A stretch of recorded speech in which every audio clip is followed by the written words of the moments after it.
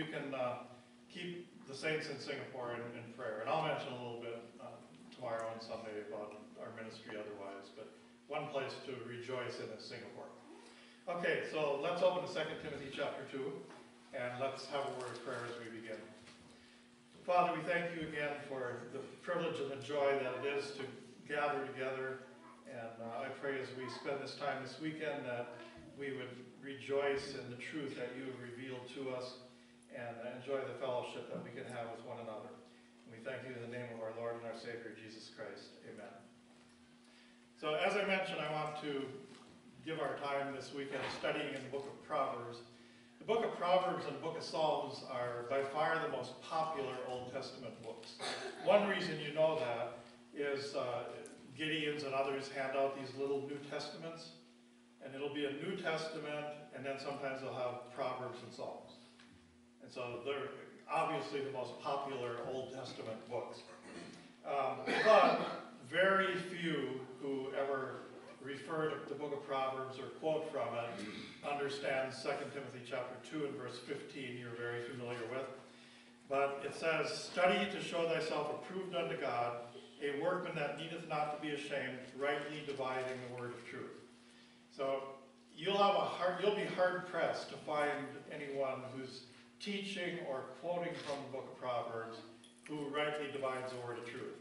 And so that's how we want to look at the book uh, this weekend, the way it ought to be looked at, rightly divided. And while we're here in 2 Timothy, also look at chapter 3, verse 16. All scripture is given by inspiration of God and is profitable for doctrine, for reproof, for correction, for instruction in righteousness. So, also, uh, on the other end of the spectrum, I oftentimes hear people who rightly divide the word truth talk about how they don't, they wonder why are you studying in the Old Testament? Shouldn't we only study Paul's epistles? But it's Paul who says that all of scripture is given by inspiration of God and is profitable. So I may not may not be obvious to me immediately how the book of Leviticus or the book of Proverbs is profitable to me, but I assume always that God knows better than me. So if God says it's profitable, then it's profitable. And I just need to find that profit. And so we ought to study every book in the Bible, all 66 books. And so again, we're going to give our time to the book of Proverbs. Um, turn to Luke, and we will actually get the Proverbs sooner or later here. But turn to Luke chapter 24. And as we begin tonight, I want to just kind of put the book of Proverbs in a overall framework as far as how it fits in the Bible. So in Luke chapter 24 and in verse 44, it says, And he said unto them, These are the words which I spake unto you while I was yet with you, that all things must be fulfilled which were written, and now notice, in the law of Moses, and in the prophets, and in the Psalms concerning me. So Jesus Christ here divides the Old Testament into three groups. There's the law, the prophets, and the Psalms. So law, prophets, and Psalms. And uh, so the, the book of Proverbs would fit in, in this division that would be part of, of Psalms. There are five books in the Old Testament that Jesus Christ, when he divides it here, he calls Psalms. And in the book of Proverbs, again, would fit there. And then one other turn to the book of Jeremiah, chapter 18. When we talk about rightly dividing the word of truth, there are many divisions and many kinds of divisions in the Bible. So here, here's one example of rightly dividing the word of truth. Don't divide the Old Testament up in the way that the world would or that the Christian world would. Why not divide it the way Jesus Christ divided it? Now here's another in Jeremiah chapter 18 and in verse 18. It says, Then said they, Come and let us devise devices against Jeremiah, for the law shall not perish from the priest, nor counsel from the wise, nor the word from the prophet. Come and let us smite him with the tongue, and let us not give heed to any of his words. So here again, we have three divisions, and we have, we have again the law from the priest, and we have the counsel from the wise, and then we have the, the word of the prophet.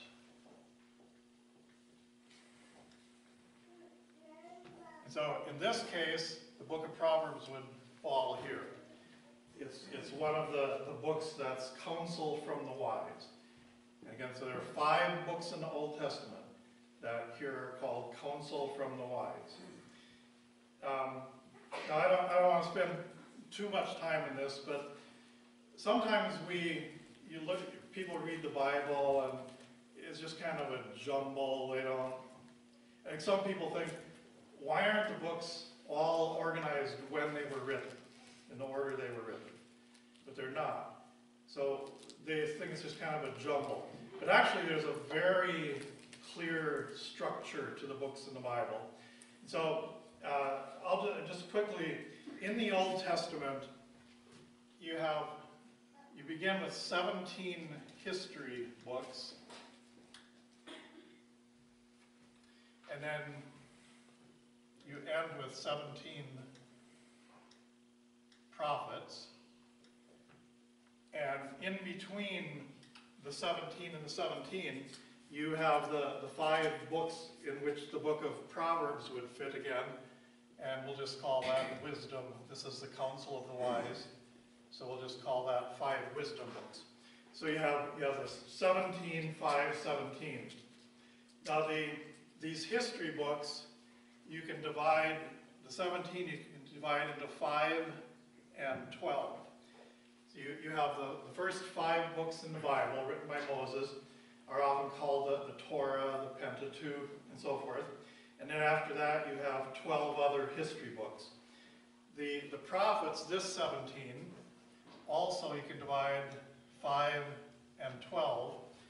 You, you first have five what are sometimes called the major prophets, and then the 12 minor prophets. Uh, and major and minor doesn't mean important and not important. It just means the major prophets wrote lengthy books, and the minor prophets wrote shorter books. So you have that division. And then um, this, um, make sure my math is correct here. This is getting beyond me mathematically. These 12 history books divide into 9 and 3.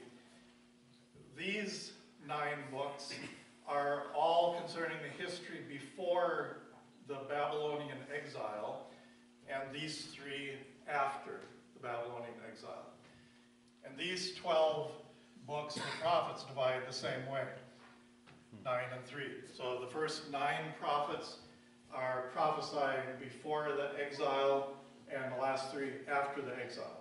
So that's just, uh, just an example of how there's a definite structure to all the books. And again, the book of Proverbs fits in here. Um, turn to the book of Proverbs now.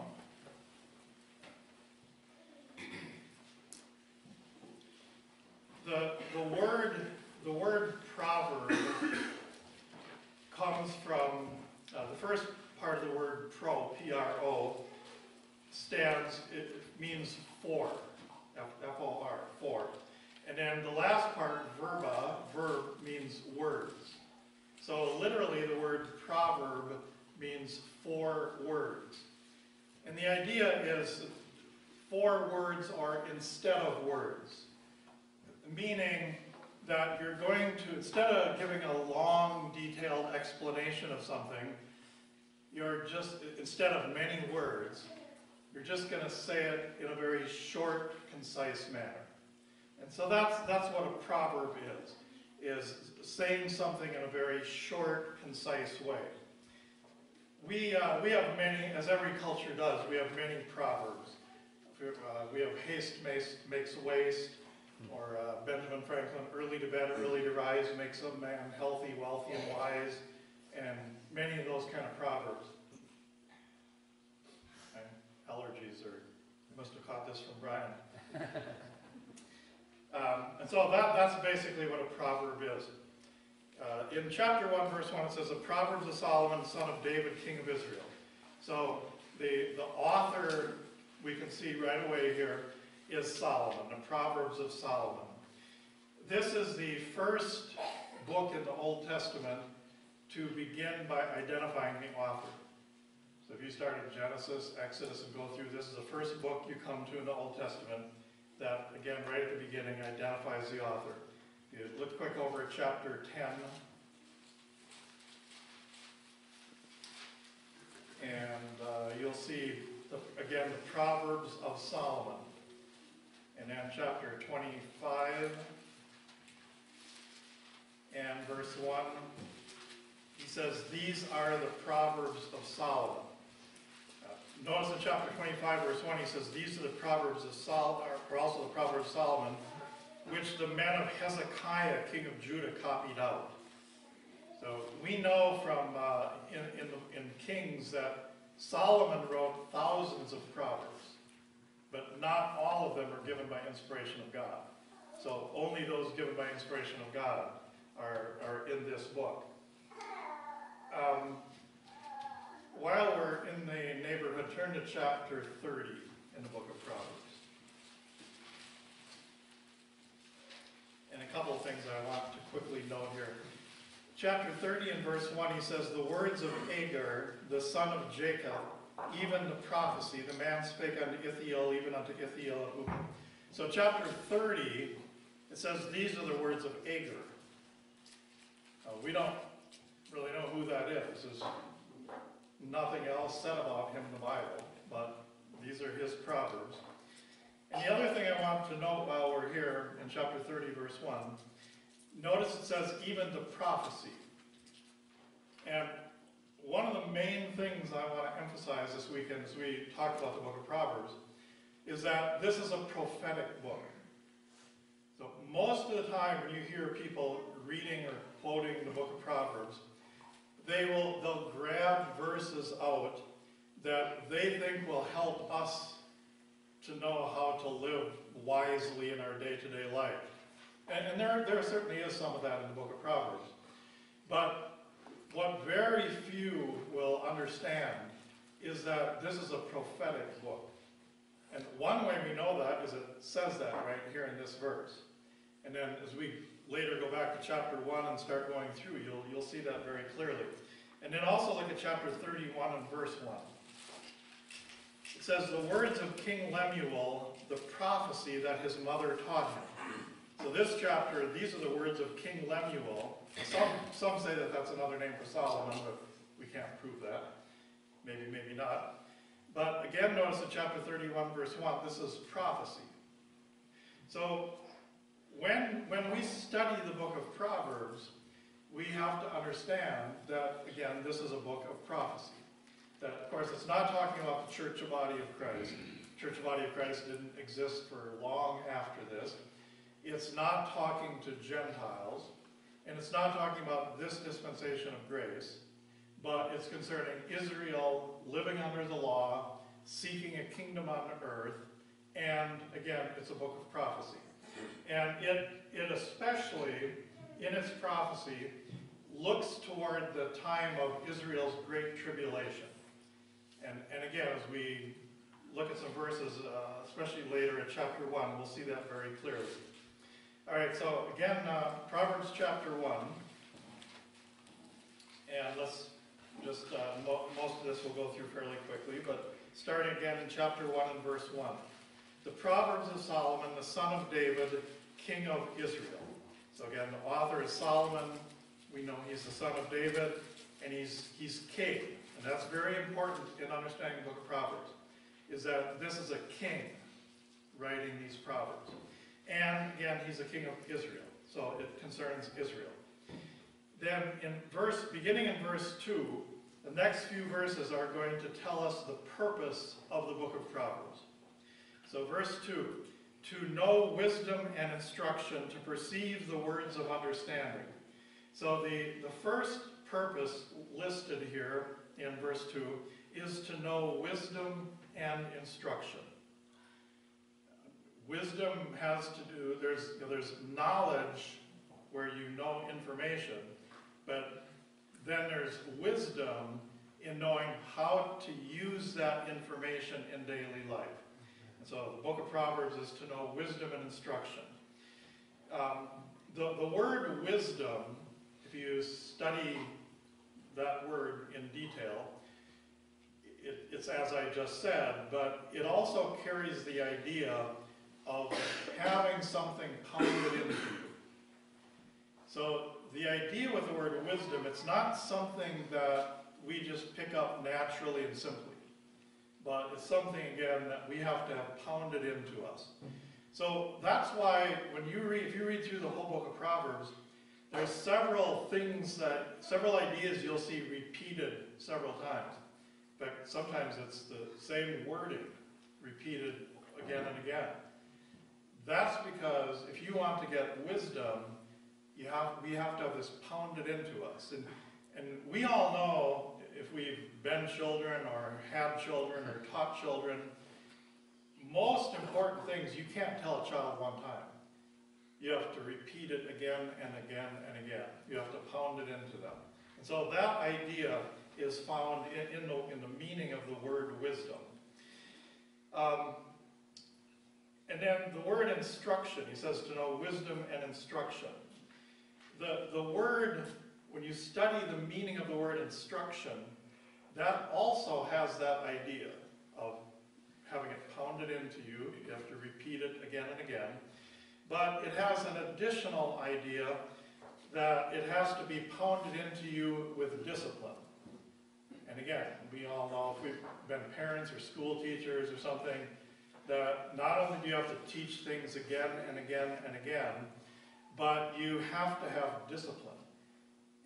If, your classroom or your home is just chaos and they're not paying attention, they're never going to get it. So you have to have discipline. And that, that idea is again, again carried in the word instruction. Now the NIV in verse 2 says, the beginning of the verse says, for attaining wisdom and discipline. So in chapter 1, verse 2, the NIV says, the first purpose, it says, for the book of Proverbs is for attaining wisdom and discipline. Now, the word wisdom is fine, to know wisdom, but they changed the word instruction to discipline.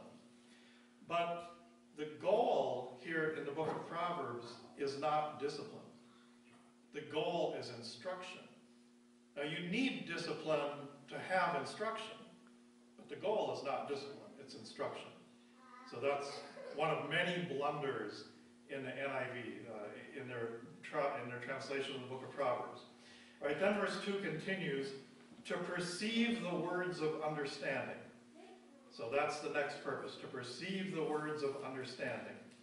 So the, the book of Proverbs is written so that we will be able to perceive the difference between vain, the vain words of man's wisdom and the understanding that God gives.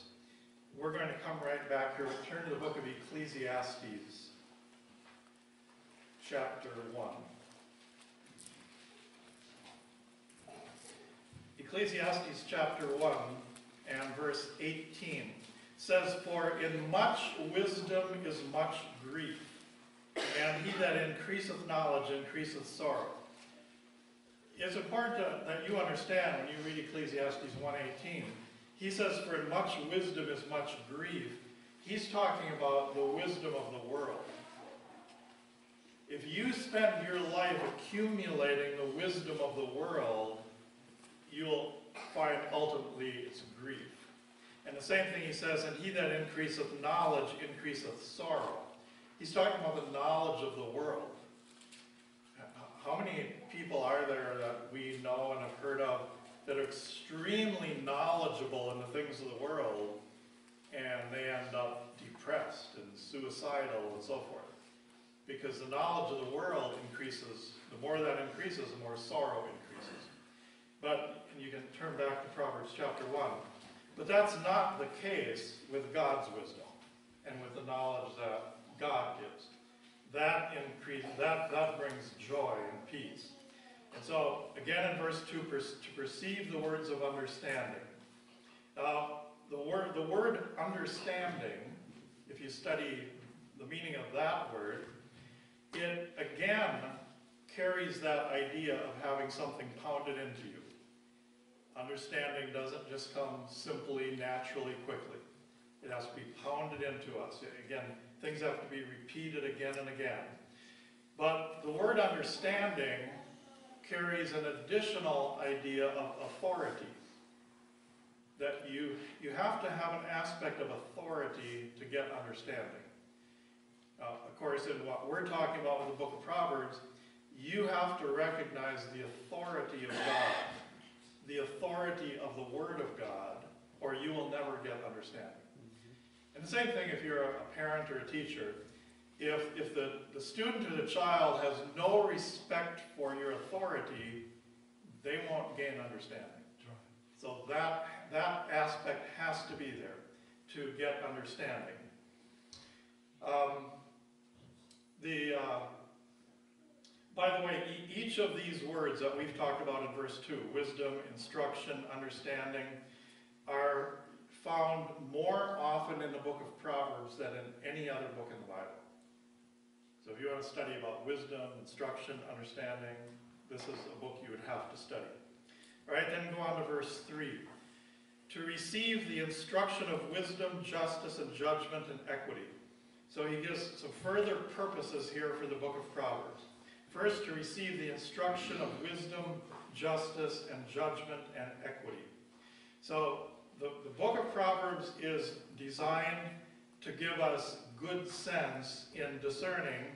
Uh, we talked about wisdom already, but then justice. Being able to tell the difference between what is just and what is unjust. What is righteous and what is unrighteous. And you look at the world around us today and you talk about the lack of understanding of what's just and what's unjust. And the book of Proverbs is designed to teach us that. And then also judgment. So it's to teach us to be able to, to judge between what is right, what is wrong, what is good, but what is better. Uh, one of the key words in the book of Proverbs is better. This is better than that. And so to teach us judgment. And then finally in verse 3, equity. And equity, it's kind of like the word equal. So if you just remember that, the word equity is having the ability to, to compare things and discern if they're equal or if this one is better or if this one is better. So that's the idea of equity. And the book of Proverbs is designed to teach us that.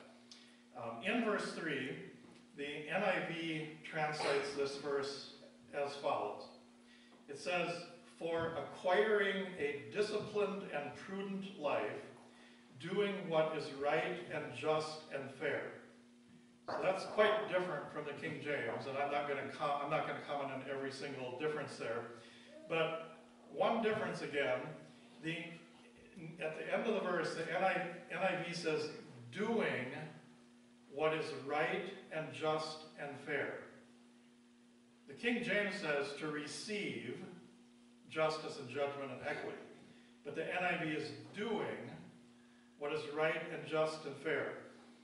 And, and I want to emphasize that because when you compare the King James Version with the NIV and other versions, there not only are there thousands and thousands of differences, but when you begin to carefully compare, you notice there are certain patterns that keep showing up. And one of them is I could spend a whole weekend and, and more just showing you verses where the NIV changes the verse. And if, if you compare the King James and the NIV, the King James will emphasize God, and NIV changes it to put the emphasis on man. And the King James will emphasize faith, and in this case, um, the qualities justice, judgment, equity. But rather than faith, the NIV will change it and emphasize works, emphasize what man does. So that's what they do in verse 3. The book of Proverbs in verse 3, one of the purposes is that we, the readers, might receive justice, judgment, equity. This means it gives us some knowledge, some understanding, some wisdom, so we can discern things, what's good, what's bad, what's better, and so forth. That's the King James. The NIV is, the book of Proverbs is designed so that we will do what is right and so forth. And uh, you'll see that pattern again and again and again if you compare the translations. Okay, then verse 4. Um, he's still talking about the purpose of the book of Proverbs. To give subtlety to the simple, to the young man knowledge and discretion. So another purpose to give subtlety to the simple, to the young man knowledge and discretion. So the, the book of Proverbs, it's a safeguard against being misled. Again, the, the dispensational time frame of the book of Proverbs is primarily that time of great tribulation, when Jesus says that it'll be a time of great deception, many false Christs and so forth. So the book of Proverbs is a safeguard to not be misled, not, not to be gullible and just believe anything that you hear. Um, notice in verse 4, it speaks about the simple, the simple, to give subtlety to the simple. Now it's important in the book of Proverbs you understand that does not mean simple-minded or dumb, unintelligent, stupid. That, that's not the meaning of the word simple in the book of Proverbs. The word simple in the book of Proverbs means really two things. One is that you're gullible, naive, easily influenced. So when false teachers come along, you're easily influenced to believe what they say. It doesn't mean you're, you're not intelligent. There are a lot of extremely intelligent people that are misled into all kinds of wrong teachings. And then the other thing with the, the, the word simple in the book of Proverbs is that when you study the simple in this book, again, it's not an intellectual problem, but it's, it's a moral, spiritual problem. Okay, and then he says uh, in verse 4 to, to give to the young man knowledge and discretion. So, knowledge is basically just information. And the book of Proverbs will give us information. Okay, then verse 5. A wise man will hear and will increase learning, and a man of understanding shall attain unto wise counsels. So in verse 4, it's the simple that gain from the book of Proverbs. But in verse 5, it's not only the simple that benefit from the book of Proverbs, because a wise man will hear and will increase learning. So the wise man also will benefit. Uh, turn again, we're going to come back, come right back all evening. Turn to the Gospel of Mark, chapter 4.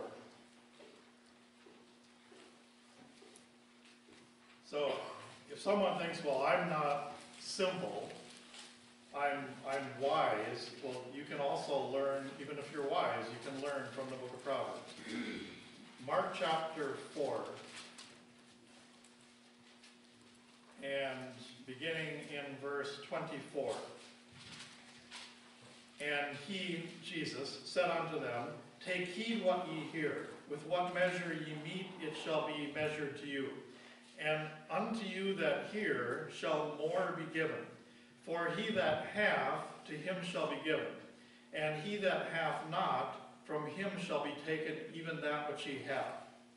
So the book of Proverbs is also, it's not only written for those that don't have that wisdom, it's also written to those who already have wisdom and they're going to be given more wisdom. In fact, they will gain more than the simple will from studying the book of Proverbs. So those that have are going to gain much more. All right, again, back to Proverbs chapter 1 and verse 6. To understand a proverb and the interpretation, the words of the wise and their dark sayings. So it's to, the, this book is written to understand a proverb. As we study through this book, it will teach us how to understand the proverb and the interpretation. And then it says, uh, the words of the wise, Solomon and the others who wrote the Proverbs here, and their dark sayings. Now that, that phrase, dark sayings, in verse 6 is, is interesting and important. Because that, the word dark sayings, the Hebrew word means, literally means to be tied up in knots. Now, that's, that helps a lot with the book of Proverbs, because there are many, many Christians, and I've heard many preachers say, talk about the parables. They say that Jesus taught in parables to make the truth simple. So even the common people can understand the parables. The Pharisees didn't understand them. And Jesus said when the disciples asked Jesus, Why are you speaking to them in parables? Jesus said, So that they won't understand. The, when, the, when preachers say Jesus taught in parables to make the truth simple, that's completely wrong. Absolutely the opposite of the truth. Jesus taught in parables so that they, the Pharisees would, and religious leaders would not understand. And even the disciples didn't understand. So he had to get alone with them later privately and explain the parables to them. Parables are very difficult. If you think they're simple, then you're, you don't get it. They're very difficult. The same thing is true with Proverbs. Again, a lot of people think Proverbs are very simple, little, short, simple little sayings that we can easily, quickly get the truth. That's absolutely wrong. If you think that Proverbs are simple, then you don't get it because they're very difficult. So again, that, that phrase, dark sayings in verse 6, literally means tied in knots. So a proverb, it's like a riddle or a knot. You have to gradually unravel the knot or, or figure out the riddle. It's not, a, it's not an easy book to understand. Well, there are some easy things, but there are a lot of very difficult things in the book of Proverbs. Proverbs is not intended to be simple. Um, the, in looking again in verse 6, the NIV translates that verse, for understanding proverbs and parables, the sayings and riddles of the wise. But this isn't talking about parables. This book is about proverbs, not parables. So the NIV is completely messed up there, not understanding what is a proverb and what is a parable. All right, then verse 7, and uh, this is probably the, the key verse in the book of Proverbs. If, if you're only going to know one verse in the book of Proverbs, and I hope you'll know more than that, but if you're only going to know one verse in the book of Proverbs, this would be the verse you should probably know. Chapter 1, verse 7. The fear of the Lord is the beginning of knowledge, but fools despise wisdom and instruction. So the fear of the Lord is the beginning of knowledge. And then turn over for a moment to Job, book of Job, chapter 28.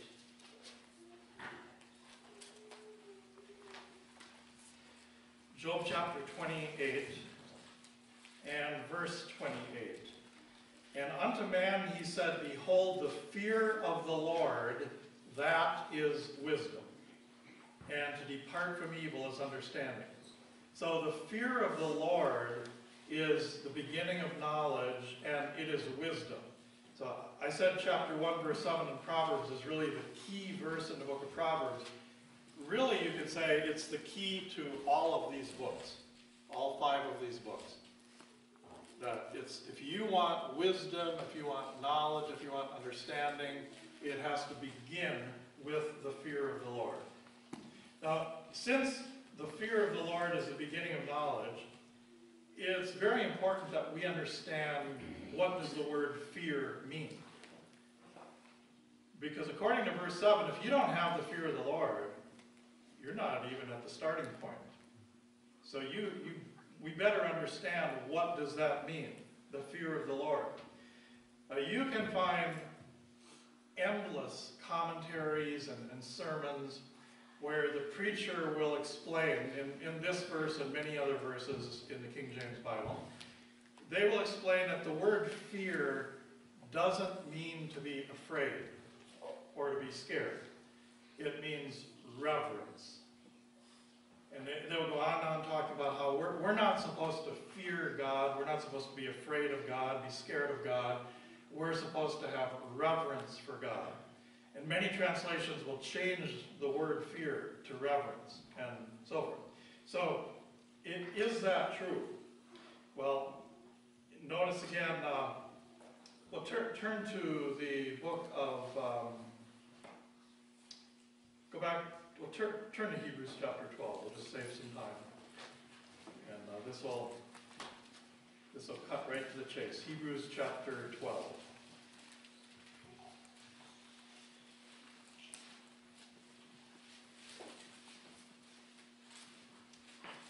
We could look at several verses, but again, this just gets right to the point.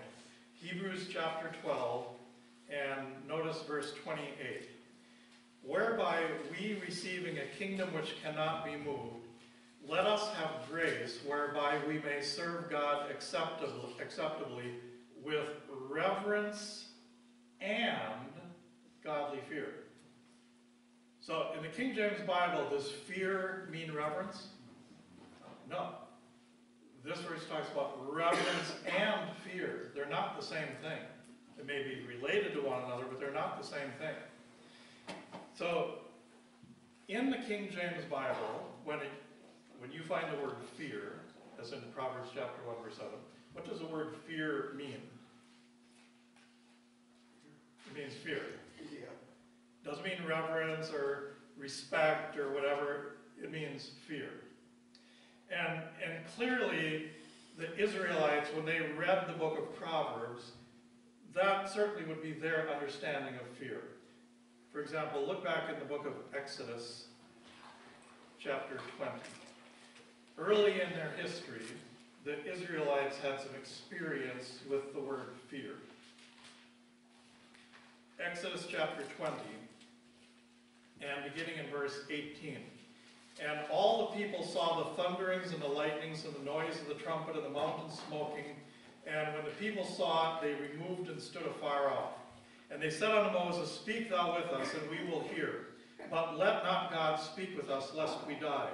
And Moses said unto the people, Fear not, for God is come to prove you, and that his fear may be before your faces, that ye sin not. So here you have the thundering, the lightning, the noise of the trumpet, the mountain smoking. Do you think at that moment these Israelites had reverence or fear? Pretty sure they had fear. They probably didn't even have a lot of reverent thoughts going on at that time. They had fear. And that's what the word means in the King James Bible. Every time you see the word, it never means anything other than fear. All right, go back again to the book of Proverbs, chapter 1. So that is the beginning of knowledge. Fear. The fear of the Lord. Now what, what about, the, before we continue in Proverbs, turn to Romans chapter 3. What about in the dispensation of grace? Now, we don't live in the dispensation of fear. We live in the dispensation of grace. Romans chapter 3. So, is it proper for us today to talk about uh, having the fear of the Lord, fearing God. In Romans chapter 3, Paul gives a description of mankind and what, what is wrong with mankind. So, chapter 3, he begins in verse 10 As it is written, there is none righteous, no, not one. There is none that understandeth, there is none that seeketh after God, and so forth. And so he goes through giving a very unflattering picture of mankind. And then notice verse 18. There is no fear of God before their eyes. So, in the dispensation of grace, also, it is true that the fear of the Lord, fear of God, is the beginning of knowledge. If you don't have that fear of God, you won't even, you're not even at the starting point, including the dispensation of grace, as far as gaining, gaining knowledge and wisdom. Um, turn to Luke, uh, chap, excuse me, Luke chapter 11.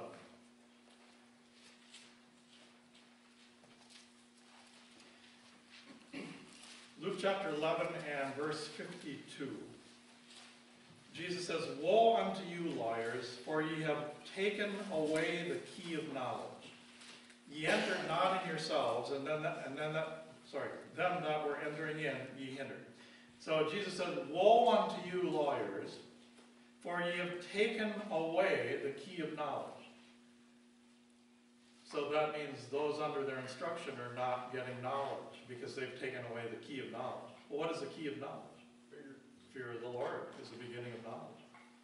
So, in any dispensation, when people begin to lose their the fear of the Lord, lose that fear of God, they lose knowledge also. In fact, they don't even begin to gain the knowledge because that's the beginning of the knowledge. Um,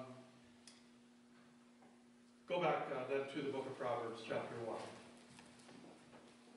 Okay, again, chapter 1 and verse 7. The fear of the Lord is the beginning of knowledge. By the way, notice it doesn't say the fear of the Lord is the end, it's only the beginning.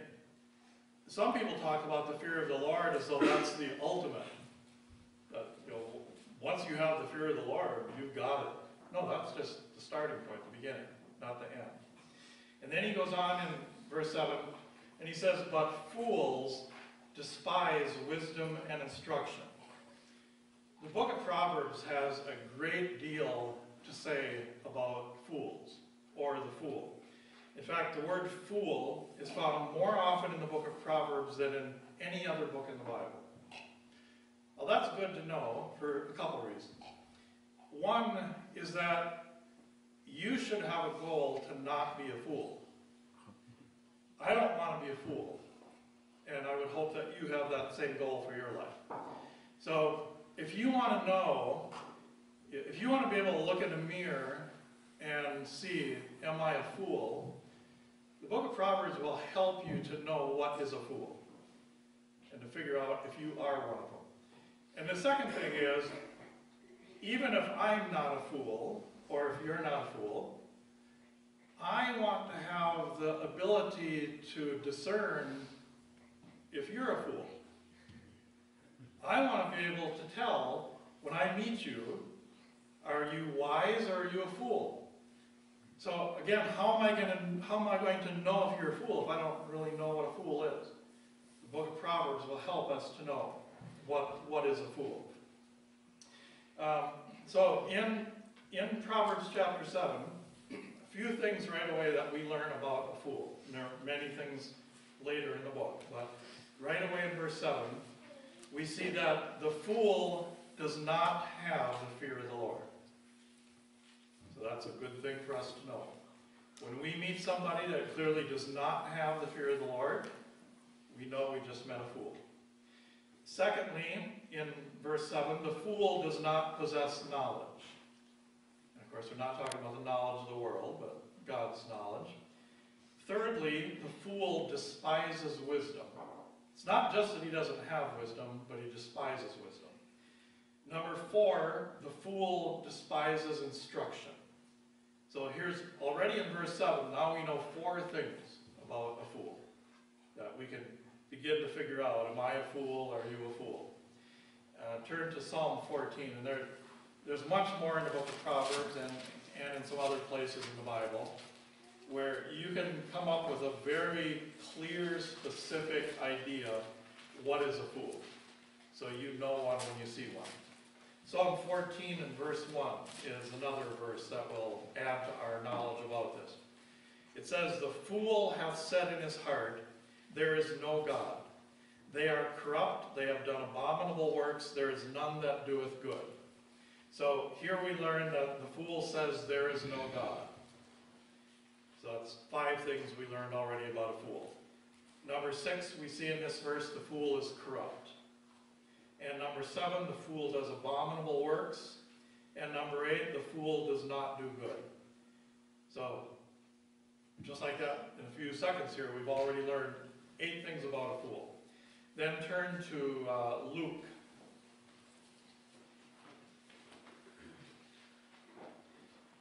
Luke chapter 24.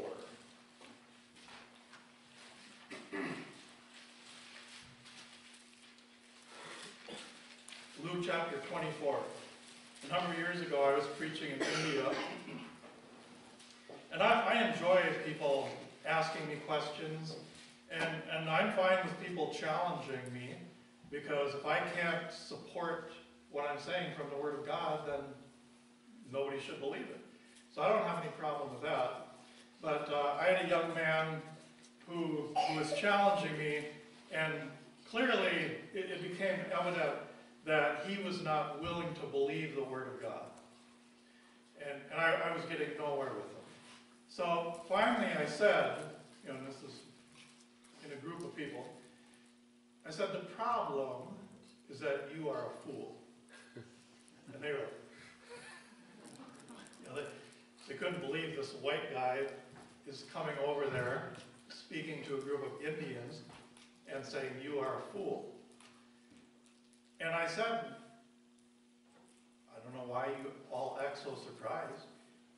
If you want to, I can show you from the Bible what a fool is, and then you tell me, is he a fool?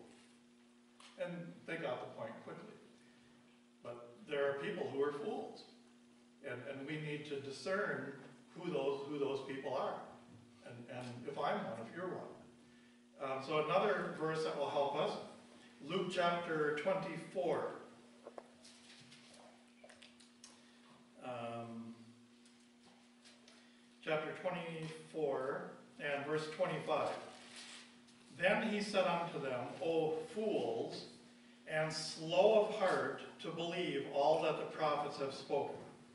So here's another thing we learn about fools. The fool is slow to believe the word of God. So, in just a few seconds, there's nine things that we learned about a fool. There- there's many more, but just with those nine things, if you didn't know these nine things when you came in, when you walk out tonight, you should have much more ability to discern if you meet a fool out there. Um, before we go back to Proverbs, look at Romans chapter 1. Now, do fools walk around saying, I'm a fool? Romans chapter 1 and verse 22. Professing themselves to be wise, they became fools. So fools don't go around saying, I'm a fool, or wearing a sign that says, I'm a fool. Quite the opposite. The fools think that they're wise. They profess themselves to be wise. And that's why we need to have some ability to discern. Are they truly wise or are they fools? Okay, then again, back to Proverbs chapter 1. And verse 8. My son, hear the instruction of thy father and forsake not the law of thy mother. Verse 8 begins the first of several lessons that the father is going to teach to my son. And so the first lesson in verse 8, again, my son, hear the instruction of thy father and forsake not the law of thy mother. Um, the, the NIV in verse 8 says, do not forsake your mother's teaching. But it's talking about the, the law. They were living under the law. It's not just teaching, it's the law. Also, there, there's a lot we can talk about here that we're going to just skip over or go through quickly. But in verse 8, notice that it's the father's responsibility to give the instruction and the mother's responsibility to lay down the law. So don't forsake the law of thy mother. All right, then verse 9. For they shall be an ornament of grace unto thy head and chains about thy neck. So the instruction of thy father and the law of the mother will be an ornament of grace unto thy head and chains about thy neck. So the first lesson that the father wants to teach the son here is basically to honor and obey your mother and your father. Then verse 10. My son, if sinners entice thee, consent not. So this begins the second lesson to my son. If sinners entice thee, consent thou not. The way of sinners, of course, is very attractive for young, young immature children. Uh, I, I know we, we ended up homeschooling our children, but I, I could tell almost from the day he was born, my oldest son had a real attraction to the boys who were troublemakers because he liked to laugh and you know do do stuff that he shouldn't do. And so, if, he was in a school where he had a bunch of those kind of boys, or even a couple, he would have been attracted to them, and we would have constantly had to deal with that. And that's not unusual. Children are naturally attracted to that sort of thing. And so, it's necessary if sinners entice thee, consent thou not. Uh, verse 11. If they say, Come with us, let us lay wait for blood, let us lurk privily for the innocent without cause. So the sinners will entice you, saying, Come with us. And not only children, but as adults, we face this. We're bombarded all the time, whether it's the, the sins of the flesh or the sins of religion. We're constantly hearing it, Come with us, come with us. So we have to learn to refuse that invitation. There's a, there's a certain excitement to, you notice verse 11 is quite a violent verse. But there's a certain excitement to violence. A lot of people these days are asking, how can it be that ISIS is attracting all these young men and even young women to go join them? And, and even from, from Europe and America, where they have good lives, comfortable, pleasant lives, and yet they're going over and joining that, that bloody, violent, vicious group. Well, if you understand the book of Proverbs and other passages in the Bible, you understand that's man's nature. There, there's a certain excitement and attraction to that sort of thing. And ISIS knows that. So they put all these gruesome videos on the internet and so forth and they know that many of us can't even bear to watch that kind of stuff. And if we did, we'd be repulsed by it. But they also know that there are a number of people that will see that and they'll find that exciting and want to join. And so that's the kind of thing verse 11 is dealing with. Now, prophetically, as I said, the book of Proverbs is a prophetic book. Prophetically, verse 11 is speaking about two things. Those who shed the blood of Christ, and also those who will persecute the saints during that time of great tribulation. The ones in verse 11 who say, Come with us, those are the ones that killed Jesus Christ. And those are the ones who will persecute the saints during that time of great tribulation. Notice verse 11 again Come with us, let us lay wait for blood let us lurk privily for the innocent without cause. Who is primarily the innocent? Jesus Christ. And notice they're lurking privately, secretly, privily to get the innocent without cause. Look at John chapter 15. The Gospel of John chapter 15. And verse 25. But this cometh to pass, that the word might be fulfilled, that is written in their law, they hated me without a cause. That is exactly what the book of Proverbs prophesied. That when the innocent comes, they're going to seek, they're going to hate him and seek to kill him without a cause. And then back again to the book of Proverbs chapter 1 and verse 12. Let us swallow them up alive as the grave and whole, as those that go down into the pit. We shall find all precious substance. We shall fill our houses with spoil. All right, so when the, we know when the innocent comes, they are going to seek to kill him without cause, meaning there's no justification. He didn't do anything to them that would merit that they should kill him. They don't have any good cause to kill him.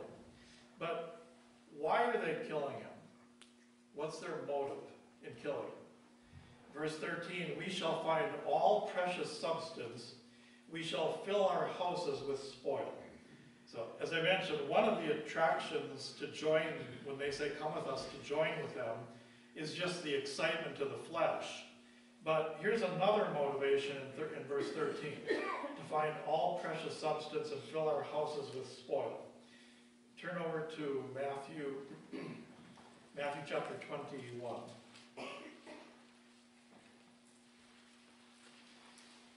When you read through Matthew, Mark, Luke, and John, and you read about the Pharisees and how they want to kill Jesus, they have these meetings where they get together and they, they're making plans to try to kill Jesus. And, and ultimately they're successful in doing so. Why do they want to kill him? Well, a major reason, if you look in, in Matthew chapter 21, and if you look at verse 33, it says, Here another parable. So here's a parable. And we're not going to read through the whole parable, but let's just pick it up in verse 37.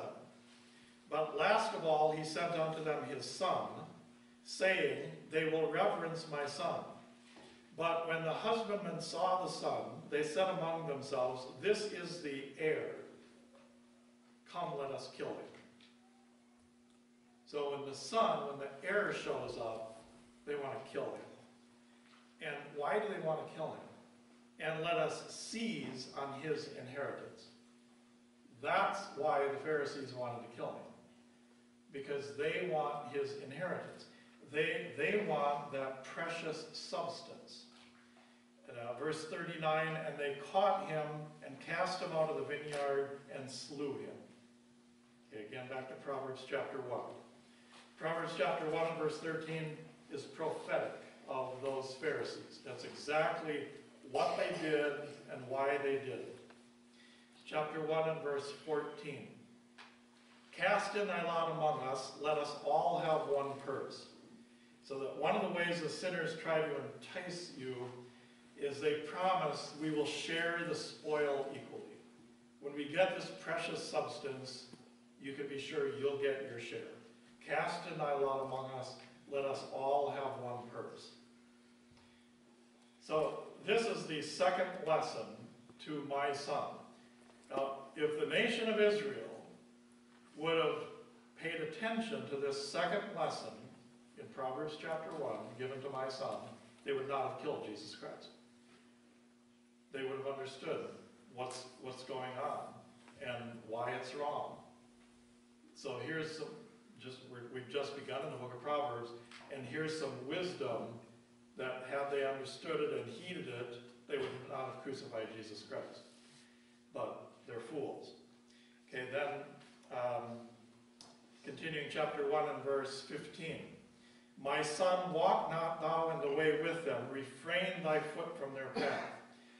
Verse 15 begins the third lesson to my son. And he continues, verse 16, For their feet run to evil, and make haste to shed blood. The, the book of Proverbs is quoted eight times in the New Testament. This is the first verse in the book of Proverbs that's quoted in the New Testament. And turn to the book of Romans chapter 3 once again. We read a little earlier from Romans. And in Romans chapter 3, Paul is going to quote from this verse in Proverbs.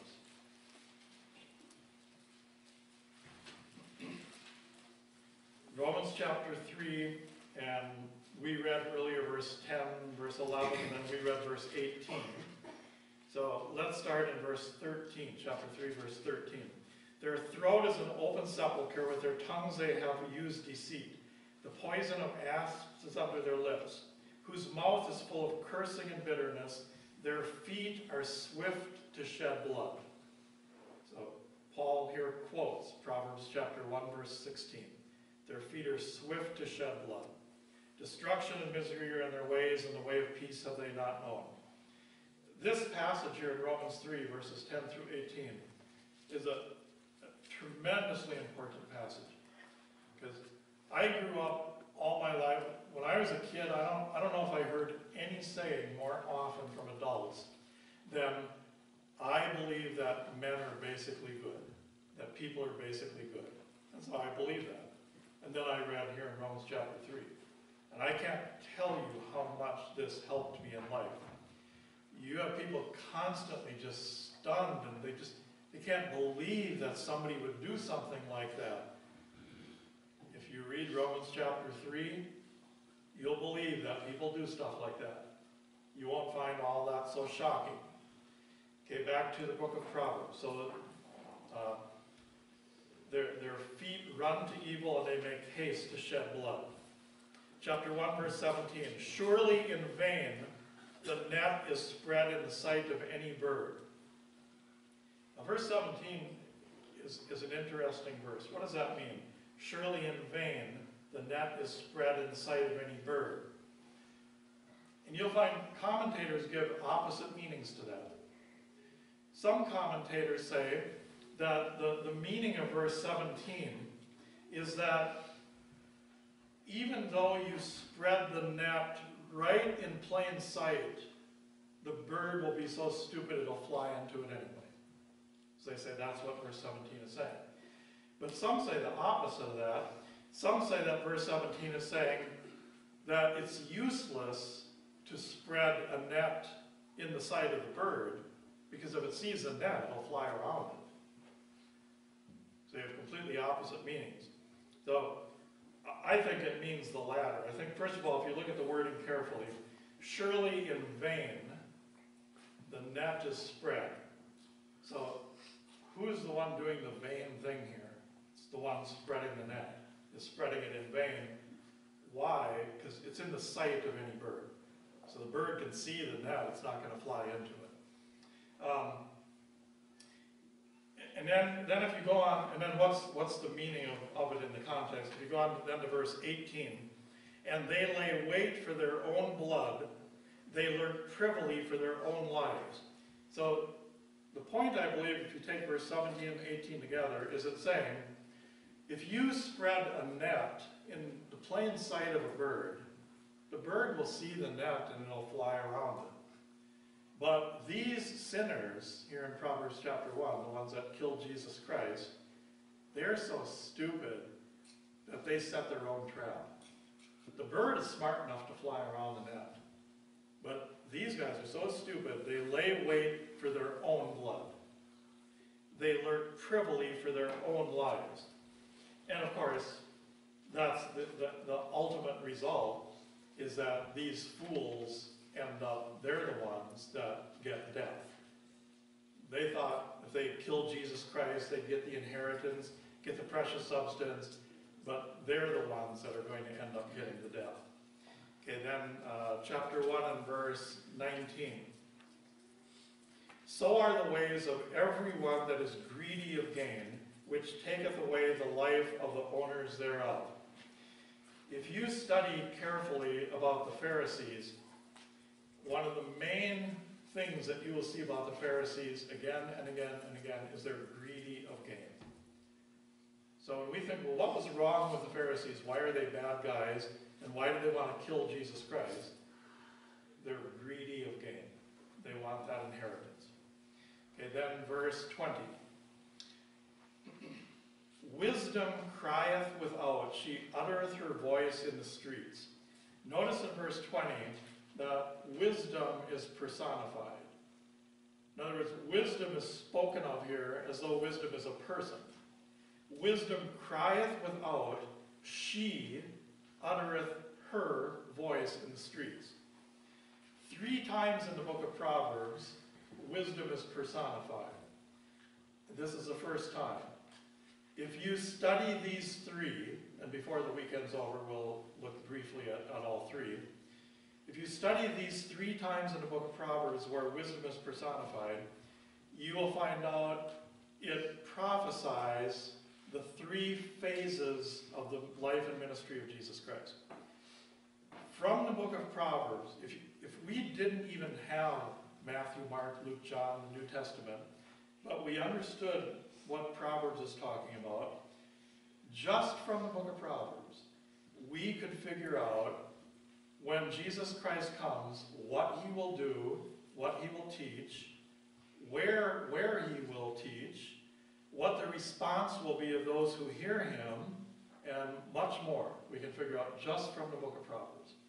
So, um, I want to get through a few more verses, and I only want to go a few more minutes, so I'm going to try to go quickly here. But again, verse 20, wisdom crieth aloud, she uttereth her voice in the streets. Um, the one thing I need to deal with before I carry on here, in case some of you are thinking, you might think, why in the world would it refer to Jesus Christ as she and her? And the reason for that is there are two prominent women in the book of Proverbs. There's the strange woman, and we'll talk about her tomorrow. And so this woman is in contrast to the strange woman. This is the, the wisdom woman. But, um, but when it speaks here about wisdom as a person, that's speaking of Jesus Christ. Um, look, just a couple verses quick. Look at Luke chapter 11. And there, there's a bunch of verses we could look at here. We'll just look at two.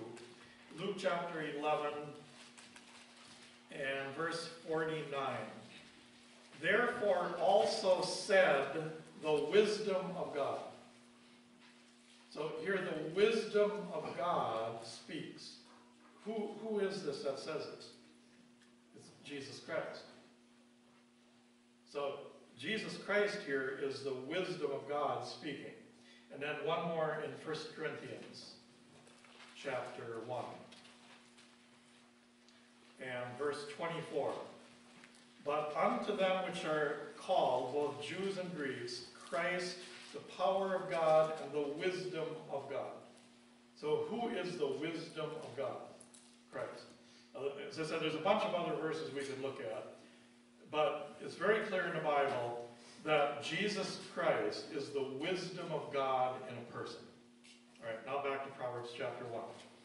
So Proverbs chapter 1, beginning in verse 10, verse 20, tells us about the first phase or the first stage of the ministry of Jesus Christ. So when Jesus Christ comes on the scene and begins his ministry, what's the first thing he's going to do? Well, verse 20 says, Wisdom crieth without. That means outside of the city. Did Jesus Christ begin his ministry in Jerusalem? No. He was without the city. She uttereth her voice in the streets. And we had more time, we could look at cross references for all these things where um, in, in Matthew, Mark, Luke, and John, they say to Jesus Christ, You have taught us in the streets. That's just what verse 20 said he would do. She crieth in the chief place of concourse, in the openings of the gates, in the city she uttereth her words, saying. So the point in verse 20 and 21, the main point is, when Jesus Christ begins his ministry, he's going to preach in open public places. You know, a lot of cults and, and even some religions or faiths where they have more truth begin in, in a very quiet, sometimes even secretive manner. Jesus Christ is not going to begin in that way. He's going to speak in open public places to multitudes of people. When you read in Matthew, Mark, Luke, and John, what do you find? When Jesus Christ begins his ministry, this is just what he does. In fact, they say to him later, they say, You have taught us openly. Okay, then what, what is he going to say? So now we know where he's going to preach. What is he going to preach? Verse 22 How long, ye simple ones, will ye love simplicity? And the scorners delight in their scorning, and fools hate knowledge. Notice in verse 22, there are three different categories of people. You have the simple ones, you have the scorners, you have the fools. This again is how Jesus Christ encountered the Israelites. So first of all, you have the simple ones. And if you remember what we said earlier about the simple ones, when you read in the beginning of Jesus' ministry in Matthew, Mark, Luke, and John, you can find passages where it talks about how they watched him. They listened to him and they watched him, they were observing him. So at that point, many of them are not negative. Some of them are quite positive, but mostly they're just listening, watching, observing. So at that point, they're simple ones. Then, then you have the scorners. As you continue reading in Matthew, Mark, Luke, and John, suddenly you start finding verses where it says they mocked him. They laughed at him with scorn. So they're no longer simple ones. Now they become scorners. And then you have the fools who hate knowledge. That's when you come to the last part of the ministry of Jesus Christ. They're not anymore simple ones. They're not even scorners anymore. Now they're fools. They hate knowledge and they crucify him. Now, again, what is he going to preach? Verse 23 Turn you at my reproof. Behold, I will pour out my spirit unto you. I will make known my words unto you. So when he comes, what is he going to preach? It says, He will say, Turn you at my reproof. When Jesus Christ began to preach, what did he preach? Repent, for the kingdom of heaven is at hand. Repent means turn. Turn you at my reproof. And then he says, If you do that, I will pour out my spirit unto you. Now, some of them in Israel did repent. Some of them did turn at his reproof. And what did he tell them, his disciples? He said, I'll send my spirit. And he did in Acts chapter 2. And I will make, my, make known my words unto you. He, we could look at many examples where he made known his words to his disciples. As I mentioned, he explained the parables to them. Later, he gave revelation to Peter, John, James. He made his words known. So, verse 23, in just one little verse, this is what Jesus Christ is going to preach when he comes, and that's exactly what we find. Um, verse 24. So, this is the first time, verses 20 through 23 give a great deal of information about the first of the three stages of Jesus Christ's ministry what he will say, where he will say it, and so forth. All right, verse 24. Because I have called and ye refused, I have stretched out my hand and no man regarded. But ye have set at naught all my counsel and would none of my reproof. I also will laugh at your calamity. I will mock when your fear cometh. I often use verse 26 as an example of the importance of rightly dividing the word of truth. God says, I will laugh at your calamity. Is God up in heaven this evening looking down at all of us and at your neighbors and so forth, and he sees all the troubles we're having, physical, financial, you know, relationships, all kinds of, and he's sitting up there laughing? Because if you take the book of Proverbs the way many do today, where you just take a verse here, a verse here, and you apply it to this dispensation, isn't that what that verse would mean then? That God's sitting up in heaven laughing at our troubles? But when you understand that this is prophetic of that time of great tribulation, he, I, have often heard people say, does God have a sense of humor?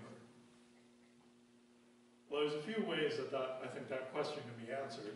But one way that question can be answered is that there are several verses in the Bible where it says God laughs. But Every single time in the Bible when God laughs, he's laughing in derision. He's mocking. You can't find anywhere in the Bible where God laughs because, you know, why did the chicken cross the road? Somebody tells a funny joke. He, you never see him laughing at a funny joke. Every time he laughs, it's a mocking, derisive laughter. That doesn't make God seem like such a nice guy, does it?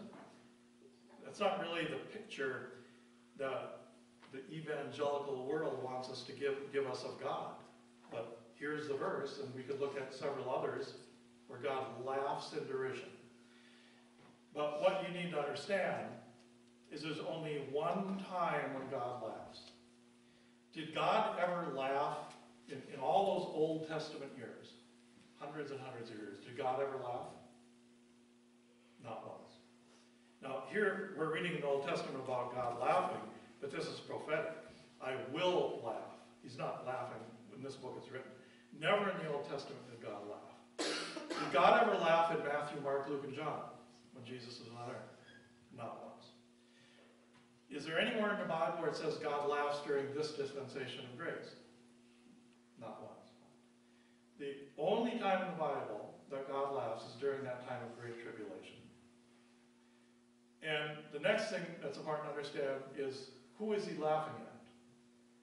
And what the book of Proverbs will teach us is he's laughing at the Antichrist and his followers. That's the only ones that God, the only time God ever laughs is during that great tribulation. And he's laughing at the Antichrist and his followers who think that they can overthrow him and take the kingdom and get the inheritance. That's the laughter in verse 26. Now,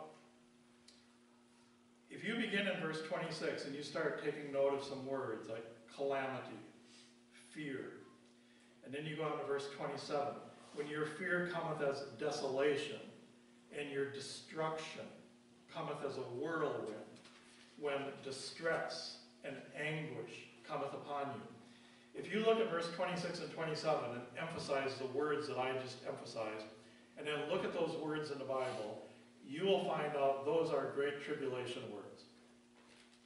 Over and over and over, when you find passages talking about that time of great tribulation, you will find these words calamity, desolation, fear, distress, anguish, and so forth. So, again, if we had more time, I could show you a bunch of verses. But when you look at verse 26 and 27, you read that.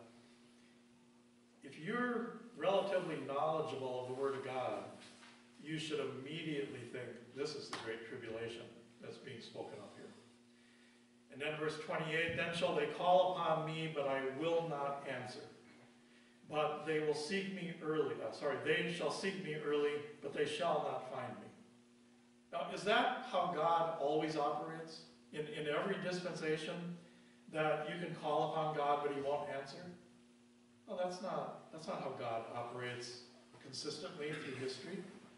He's talking about this particular time of that great tribulation.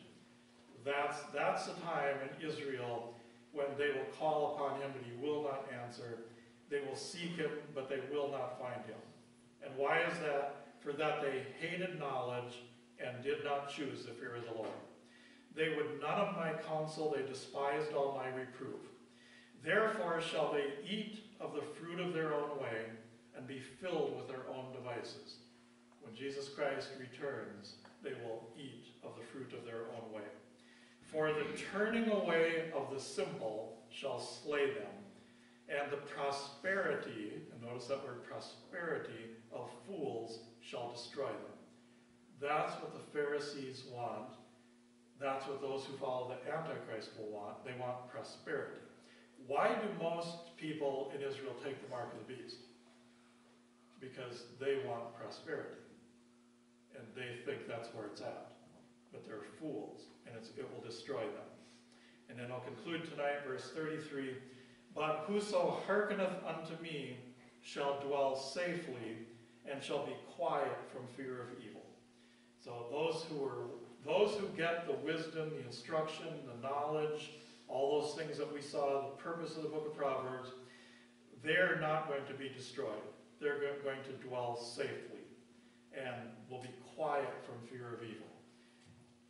You think back in the book of Exodus, remember when God sent the plague of boils upon the cattle in Egypt?